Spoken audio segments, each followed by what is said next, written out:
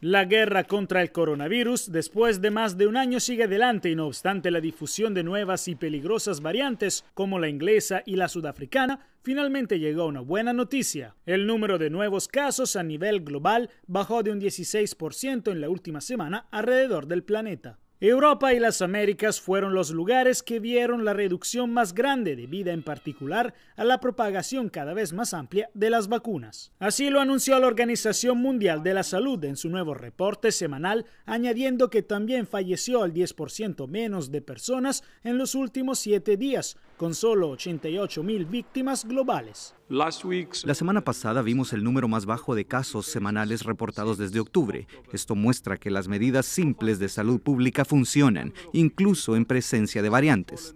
En medio de esta situación, el secretario de Estado de Estados Unidos, Anthony Blinken, anunció que el país pagará 200 millones de dólares al OMS para el final de febrero como parte de su renovado empeño de país líder de la organización para que enfrente mejor la pandemia. Procuremos crear un mecanismo de financiamiento sostenible para la seguridad de la salud que se demoró mucho tiempo, de modo que el mundo esté mejor preparado para futuros brotes de lo que estuvo para esta pandemia. Entre tanto, la OMS sigue investigando el origen del COVID-19 en China, si bien ha aclarado que casi seguramente no tuvo su origen en un laboratorio. El secretario general de la ONU, Antonio Gutiérrez, por su parte, durante una reunión del Consejo de Seguridad, dijo que 130 países aún no han recibido ni una dosis de la vacuna y por eso exigió un esfuerzo global para vacunar a las personas de todas las naciones lo antes posible.